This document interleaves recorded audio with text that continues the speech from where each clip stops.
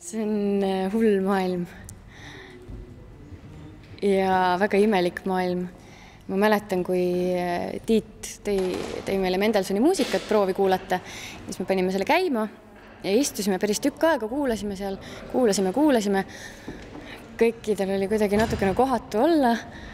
siis nagu enne kui arugi said, muusika hakkas kuidagi toimetama sinuga või ta on nii ülevoolav ja nii emotsionaalne ja nii kuidagi vale häbita emotsionaalne muusika, et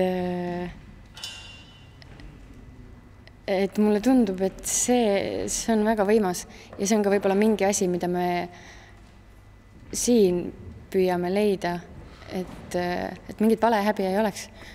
kui ma armastan, siis ma armastan nii, et mul lähevad sellest silmad kõõrdi ja kui ma vihkan, siis mul on buss nuga teise kõril ja kõik on nii maksimaalne ja see muusika lihtsalt, see võimendab seda ja see, see tõstab ta õhku.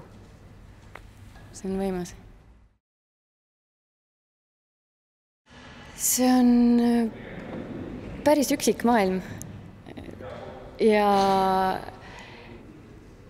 ja põnev selles mõttes, et ta toidab iseennast, enne kui ma arugi saan.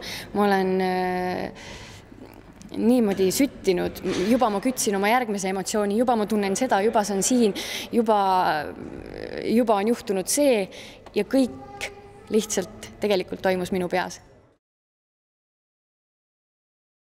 Ersoga on, Ersoga on väga hea koos mängida ja, ja just nimelt me mängimegi kõik koos äh, kuidagi see piir siit vahelt kaob ära, me oleme kõik selle sees koos, me, me ehitame mingit ühist maailma ja, ja armastame kõik ennast laiguliseks, kas siis seal all kaamerate juures või siis siin oma, oma pilli hoides ja mängides. ja ma arvan, et see on võimas ühine tegemine